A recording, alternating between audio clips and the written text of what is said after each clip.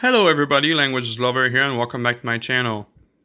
In this episode, I'm going to make a review on a book that I've studied to speak the language that I'm studying right, that I'm speaking at this very moment. So English, so this is the Using English book from Assimil.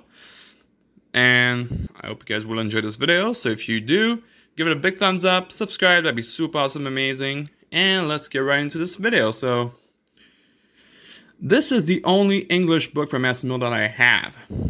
At the time I got it, I was like, well, I had actually collected like some, for, for example, Brazilian Portuguese, German, Spanish. I also got eh, Español Perfeccionamiento at the same time as this one, so I got using Spanish and using English at the same time, so. And I was like, I'm not gonna buy the beginner's one because by the time I started collecting these books, I actually almost consider myself a fluent speaker, so I'm, I was like, I'm not gonna get the B2 book, so. But here I am with the C1 book, which I guess is really useful to review some advanced, I guess, speech methods for speech methods. Well, some advanced speech for English, so yeah. And being the international language, why not like I don't want to lose my English, especially after working a lot for mastering it, but yeah, I do like reviewing some stuff I've actually came across. So yeah, as you can see, this one is 25, unless the unlike the other ones. So yeah. And I'm making a review in English about the use using English book. So yeah, pretty good. Here are my other books that I'm gonna make a review on today. So yeah, pretty good. So let me take you inside. It has 70 lessons. I guess all the using ones have 70 lessons, but they're all really advanced. There has a lot of new stuff you can learn from these using books.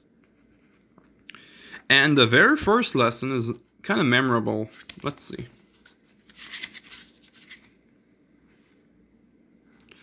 The soldier decided to desert his desert, his desert in the desert. Yeah. And yeah, it even drove the hardiest learners to distraction, as it says.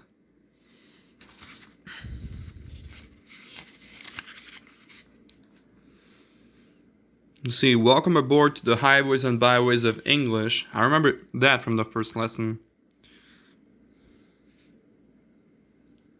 So yeah.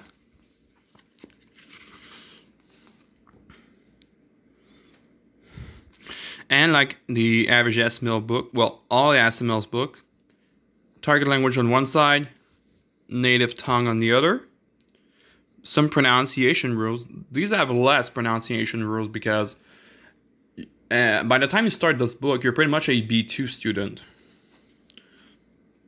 And you do have some notes over here. And I've never noticed that, but for every page actually say how the number is set in the target language.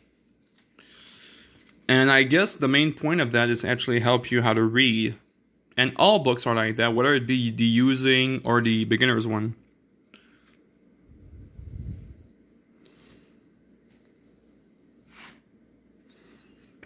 So yeah, very awesome book. If you want to improve your English and you feel like you've already got a good brief, a good grief of English and you just want to review some advanced stuff, this might be a good course for you. So I hope you guys enjoyed. If you have, give it a big thumbs up, subscribe, that'd be super awesome, amazing, and I will see you later.